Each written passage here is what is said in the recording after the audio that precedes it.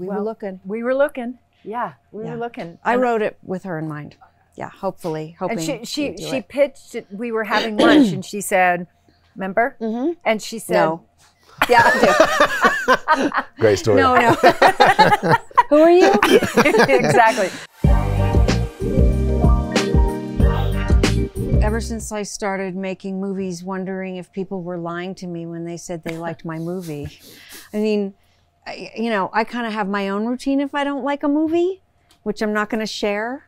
But you know, you always wonder, and um, and then I just kind of brought it closer to home. Do they like my work, and do they have to like my work in order to like me or love me? And does it matter? And yes, it matters, and I wish it didn't matter. So all just fun questions like that.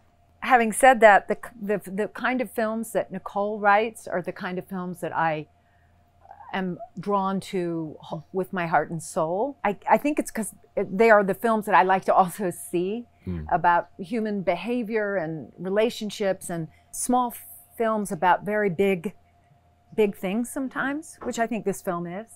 I offered her one thing, she didn't do it.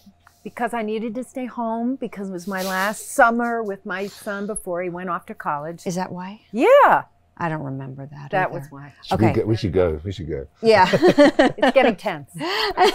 well, I saw him on something and I said, that's the guy, Do you remember what it was? this way up. And uh, I thought, what a unique face and a, and a unique person and funny and smart. Um, no, I hadn't met either of either Nicole or um, Julia. Um, but yeah, no, I mean, read her script, know her films, um, so it was a it was a very easy decision.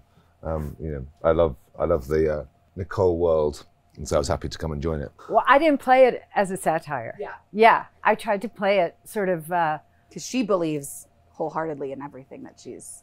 oh yeah, yeah, and she's re- truly gutted. I mean, she's wondering if her her marriage will survive. I I mean, mean, they're hard to find. I mean, find, no, having people in your life you really you Trust. trust. and know that they'll tell you the truth is like so important, but also can be devastating.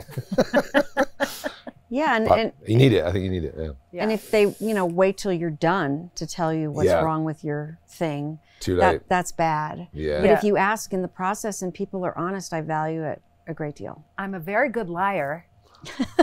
and Look at her now. This is all a lie.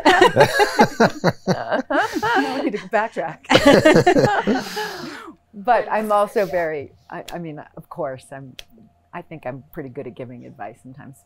And she, you know, having the script early on, ha had a great deal of things, many things to say to me, and things we could work on to make funnier. Um, you know, down to the last minute yeah. when we're shooting too. So it's very collaborative.